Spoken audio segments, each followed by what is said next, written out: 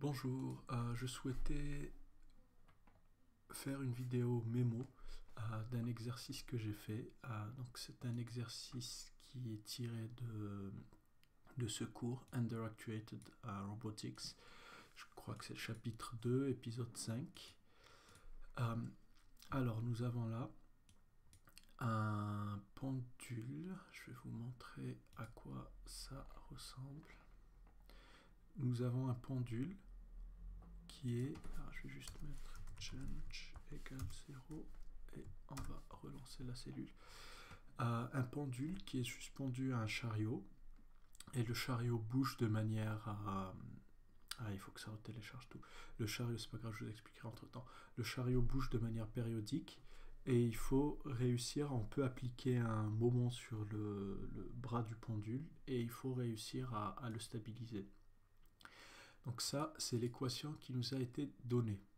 Euh, c'est euh, alors, je n'ai pas été dans le détail, mais elle peut euh, être retrouvée en calculant le Lagrangien. Il y a, je pense, beaucoup de, de tutoriels là-dessus. Donc à partir des énergies, on peut retrouver cette équation. Et là, on a le, le contrôleur. C'est là qu'on applique le moment. Et la première des choses qu'on va faire, c'est qu'on va neutraliser cette équation, c'est-à-dire qu'on va mettre des choses dans U qui vont permettre de linéariser tout ça. C'est-à-dire qu'on va mettre U, on va tout diviser par ML carré déjà. Euh, donc ça va faire partir ML ici, ensuite ça va être sur L, etc. Il ne va rester que θ de point une constante ici fois sinus θ, une constante ici fois sinus oméga t, cosinus θ, plus u qui lui est égal à quelque chose fois w. Ensuite, on va remplacer ce w. Et ensuite, on va faire la même chose pour éliminer tout ça. Donc, dans le w, on va mettre à tout plein de choses. Ça va faire... Il faut que tout ça disparaisse, que quand on additionne ce qu'il y a dans u avec ça, il faut qu'il ne reste que θ de point. Donc une fois que ça c'est fait, il, nous, il va nous rester, on va avoir une équation de cette forme. Alors très bien, ça c'est terminé. Pardon. On va avoir une équation de cette forme, cette forme-là. Donc change, c'est mon U. Euh, ML multiplié par etc etc etc et quand on exécute ça vous allez voir pas besoin de relancer ça donne.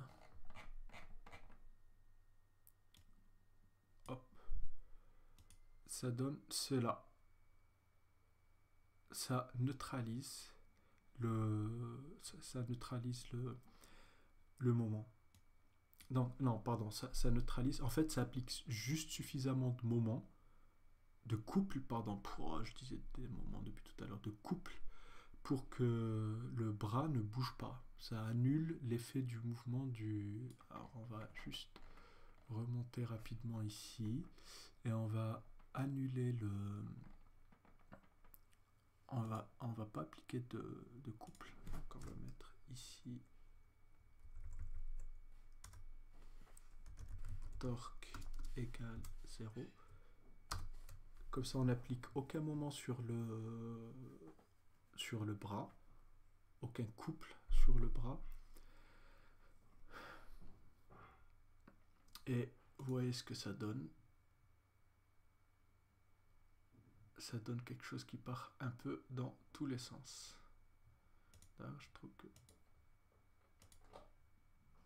Comment on fait pour retourner au départ? Voilà. Donc la première des choses qu'on va faire, c'est neutraliser ça. Ensuite, on aura une équation de la forme θ de point. Hop, où est-ce que j'étais là Donc j'enlève ça. On aura une équation de la forme θ de point ce torque, c'est égal à θ de point parce que U, qui est ce qu'on va appliquer, on a fait en sorte de l'avoir égal à θ de point. Et nous, ce qu'on veut faire, c'est avoir une, une équation différentielle qui va permettre de faire converger U vers, vers la position souhaitée. Donc, on va faire deux choses. La première, c'est une position désirée. Pour cela, on va avoir, donc j'ai ici le, diagramme de phase. On a x point qui est égal à y. Alors, si on, écrit θ dot égale à y. Et ensuite, on a y dot qui est égal à y. Si on remplace euh, alors y dot, ce y dot, c'est ce y qu'on dérive encore une fois. Ça veut dire c'est θ double dot. θ dot dot. Donc on a ici une équation différentielle. Θ dot égale y de, second ordre et θ 2 points est égal à quelque chose. Alors ce quelque chose, on peut faire en sorte que ce soit... Euh, si, on veut par exemple, on, sait que si on a une équation différentielle de x égale x de points, la solution ça va être un cosinus ou un sinus. Si on a une équation différentielle de x de points, x points, c'est-à-dire seulement un ordre, à un degré entre les deux, ça va être une exponentielle. Si on a les trois, ça va être une exponentielle et un sinus. Donc là, on peut voir que si on a, euh, donc ici ce qu'on a, on a ça, ensuite on a θ dot dot, donc y de point, qui est égal à moins y, moins y qui est θ dot ici. Parce que c'est moins, donc c'est moins θ dot. Donc là, ça nous donne quelque chose, une, exponentielle. Ça décroît comme une exponentielle. Donc là, la position ne va pas décroître, la position va, rester constante, ça va atteindre un, seuil limite, mais la vélocité va décroître. Euh, euh, on va aller sur Wolfram, je pense que ça, ça sera si on fait exponentielle de 1 moins x.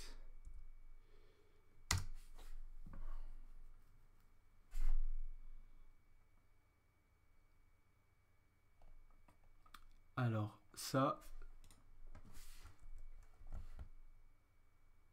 c'est...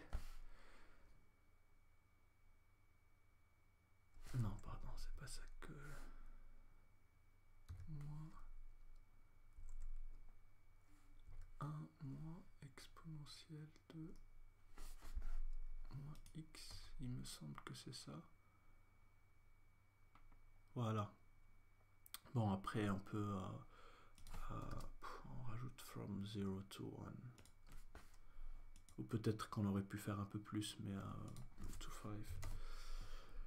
Donc, la, la solution à l'équation différentielle, ça va être ce que je vous avais montré tout à l'heure. Donc ça va être sans, sans le, le 1, ou plutôt avec le 1.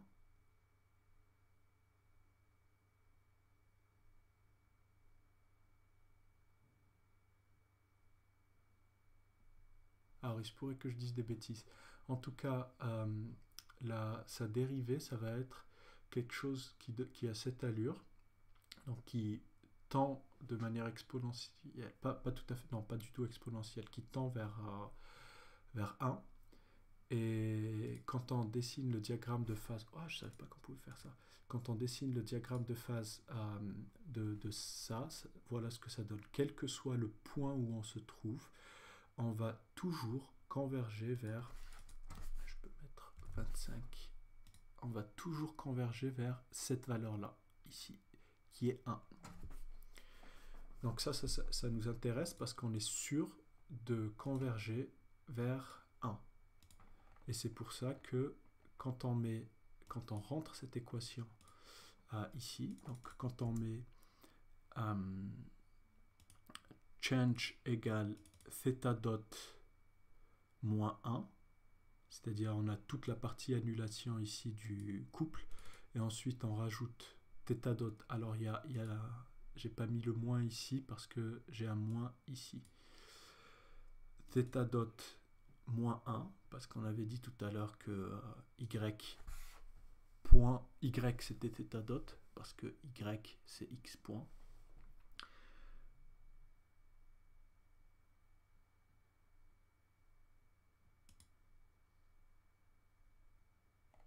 Quand on fait ça, ça donne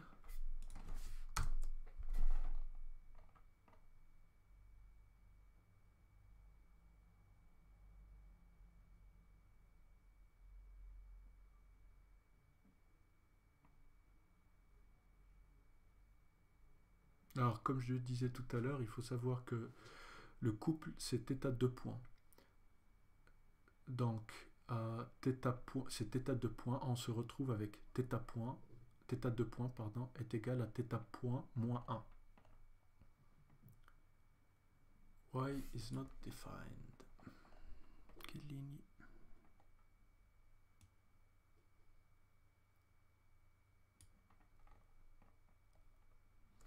effectivement.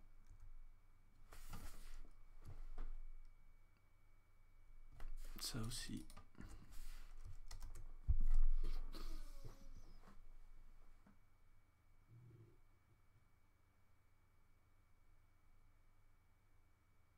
Alors effectivement, c'est ce que je disais tout à l'heure, la solution c'est quelque chose qui donne ça parce qu'on a rajouté le 1 et ensuite sa dérivée, donc la solution c'est la position, ça va être quelque chose qui donne ça. Et ensuite, sa dérivée, c'est euh, quelque chose qui converge vers une valeur, qui, donne cette courbe-là plutôt à droite. Et quand on, on, exécute, on peut voir la, vitesse, la vélocité, vitesse de rotation est constante. Et quand on dessine la courbe, ici, la, ça c'est la deuxième, c'est la dérivée seconde. Hum, est constante. Alors c'est pas bien dur, hein. il suffit que je remplace le 1 par moins 1 pour avoir l'inverse, pour avoir une courbe qui s'inverse comme ça. Et ensuite, si, si on applique plutôt une donc on, met une valeur plus moins ici et qu'on met θ dot et x donc ici j'ai θ dot donc ça et j'ai θ. Donc j'aurai θ de point qui est égal à θ point et θ. Donc ici ça revient à, avoir x parce que y c'est x point, ça c'est x de point et ça c'est x avec, bon je peux, si, si je veux que ce soit centré autour de 0, je fais ça. Si je veux que ce soit centré, si, c'est centré autour de 0, ça veut dire que la position va rester à, 0. Et, nous, ça ne nous intéresse pas. Dans notre cas, c'est euh, pi qui nous intéresse pour que ce soit exactement à la verticale supérieure, enfin orienté vers le haut. Et là, ça décale un peu, mais vous pouvez voir que quelle que soit la position, on retombe, on converge, parfois en oscillant, alors je travaille sur comment réduire cette oscillation, parfois en oscillant vers, euh, vers notre valeur qu'on souhaite. On peut travailler sur, euh, sur ça pour changer les... Ouh là on va remettre à 0. pour que ça n'oscille plus, ou en tout cas plus beaucoup. On, peut jouer sur les valeurs de, de x et de y. Ce sera par contre, le système répondra de manière beaucoup plus lente. Donc si on fait ça, là, j'ai juste repris 1 et 1, donc j'ai repris le schéma de, de tout à l'heure. Ça. Et si on fait ça, on peut voir le système va converger vers une position fixe. Même s'il va un peu dépasser. Hop. Et là, il revient et il s'arrête.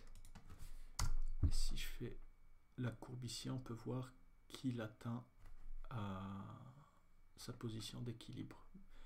On va essayer quelque chose. On va essayer ça, je l'ai pas essayé par contre préalable, donc je sais pas trop ce que ça va donner, les valeurs qu'on avait tout à l'heure. Donc on avait dit θ, on avait mis 0,2. Et là, on va mettre 0,4.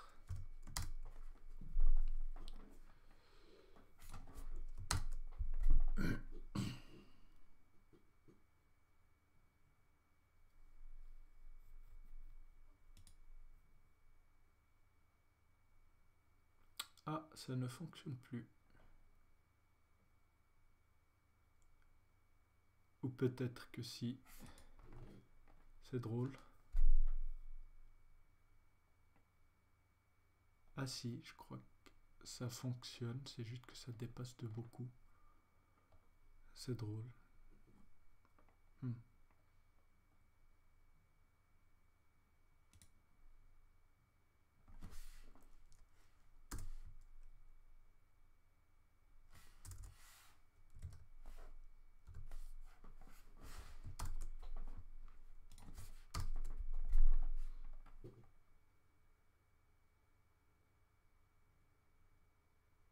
Je pense que ça aura l'effet inverse.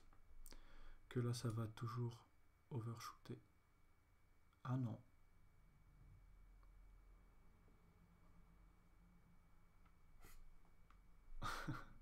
Il a du mal à tenir. Alors effectivement, ça aussi beaucoup. On va faire l'inverse, un dernier essai et puis je vais arrêter la vidéo parce que je pense qu'elle devient beaucoup trop longue.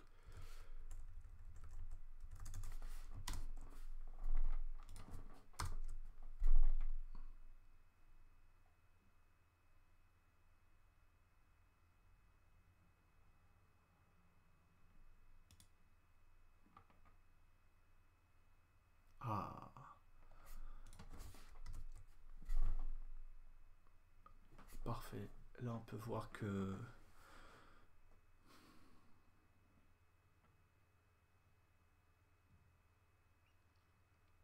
qu'on dépasse beaucoup moins. Voilà, parfait. Merci d'avoir regardé. En espérant que ça vous aura éclairé, je peux vous mettre ce site, je vais le copier, comme ça vous pourrez chercher sur internet pas très futur ce que j'ai fait.